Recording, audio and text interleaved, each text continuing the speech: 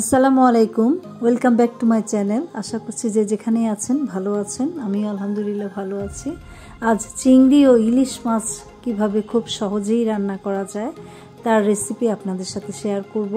তো প্রথমেই আমি চিংড়ি মাছের রেসিপিটা আপনাদের সাথে শেয়ার করছি। চুলায় একটি ফ্রাই প্যান দিয়ে তাতে পরিমাণ মতো তেল দিয়ে দিলাম।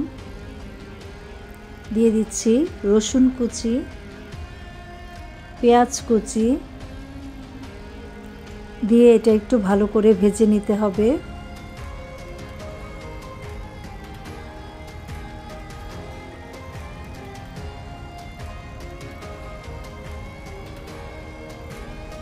দিয়ে দিচ্ছি এখানে দশ বারোটার মতো কাঁচামরিচ।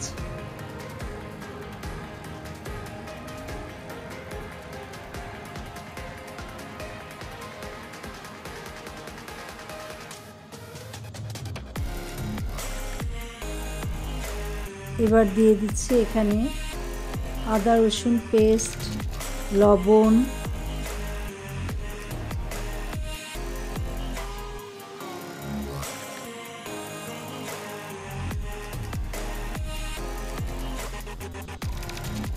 এবার আমি চিংড়ি মাছটা একটু হলুদ মরিচ দিয়ে মাখিয়ে রেখেছিলাম।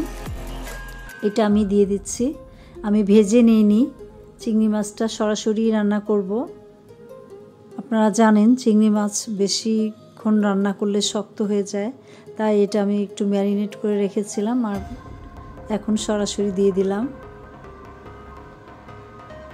তো এখন আমি দিয়ে দিয়েছি একটা টমেটো কুচি।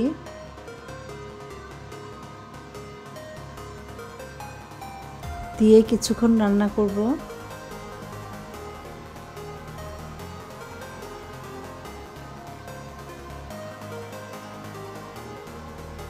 আমি এখানে হাফ চা চামচ হলুদ গুঁড়া, হাফ চা চামচ মরিচ গুঁড়া দিয়েছিলাম, সেটা একটু স্কিপ হয়ে গিয়েছে। আর তেমন কোনো মশলা এখানে দেইনি।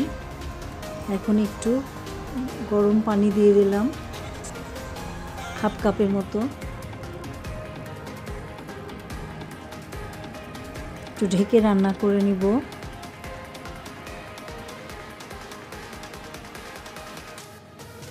এই তো, রান্নাটা প্রায় শেষ। চিংড়ি, মাছ হতে আসলে বেশি সময় লাগে না। চিংড়ি এবং ইলিশ দুইটাই খুব অল্প সময় রান্না করা যায়। তার ভিতরে ভাজাভাজির ঝামেলা ছাড়া আপনারা এইভাবে ট্রাই করতে পারেন। দিয়ে দিলাম ধনিয়া পাতা কুচি। খুব অল্প সময়ে রান্নাটা করা যায়। এটা কিছুক্ষণ চুলায় রেখে তারপরে আমি এটা নামিয়ে ফেলব। আমার এটা রান্না হয়ে গিয়েছে চিংড়ি মাছটা।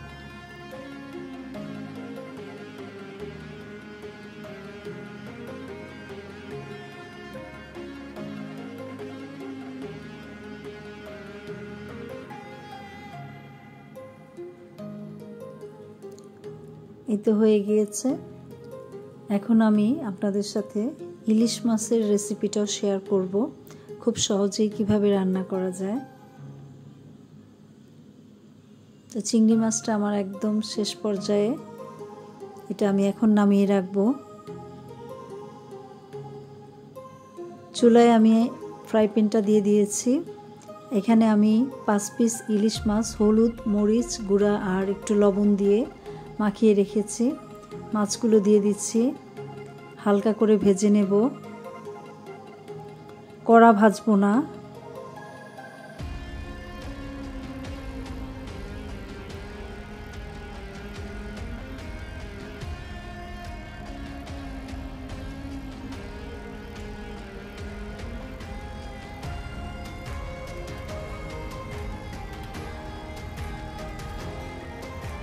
এক পিঠ ভালোভাবে ভাজা হয়ে গেলে মাছগুলো আমি উল্টে দিব।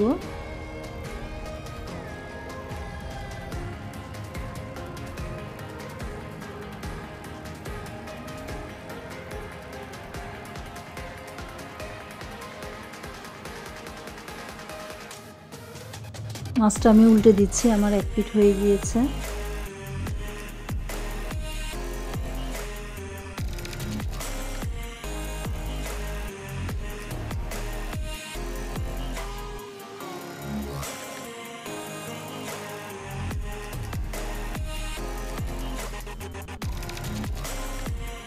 মাছটা আমার ভাজা হয়ে গিয়েছে, মাছটা আমি উঠিয়ে রাখব।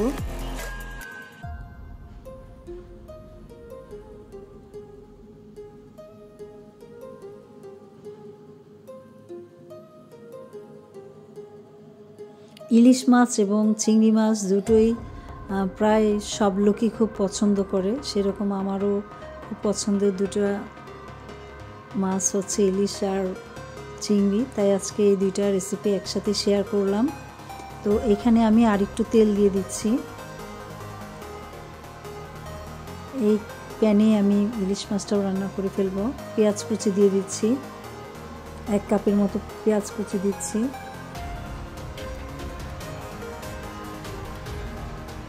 এবার ভালো করে পেঁয়াজ কুচিটা ভেজে নিচ্ছি, পেঁয়াজটা তেলের সাথে। ইলিশ আসলে আমরা অনেকে অনেকভাবেই রান্না করি। তো কোনোটাই খারাপ না যে যেটা খেতে পছন্দ করে সেভাবেই রান্না করবেন। কারণ ইলিশ মাছটা এমনি খুব টেস্টি মাছ, এটা যেভাবেই রান্না করা হোক অনেক টেস্টি হয়। এখানে আমি হলুদ মরিচ গুঁড়া, একটু পানির সাথে গুলিয়ে দিয়ে দিলাম।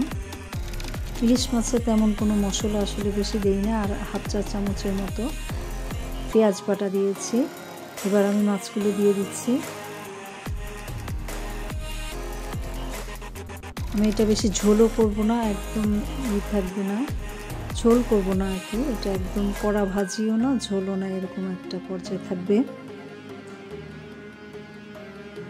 তো রোদের কারণে আমার যেখানে ছায়া পড়ছে, মাছগুলোর কালার কালো আসছে, কিন্তু আসলে ওরকম না, এটা আসলে আমার রোদের কারণে হয়েছে। এবার আমি কাঁচামরিচ দিয়ে দিচ্ছি, আর আমি এখানে অল্প একটু পানি দিলাম।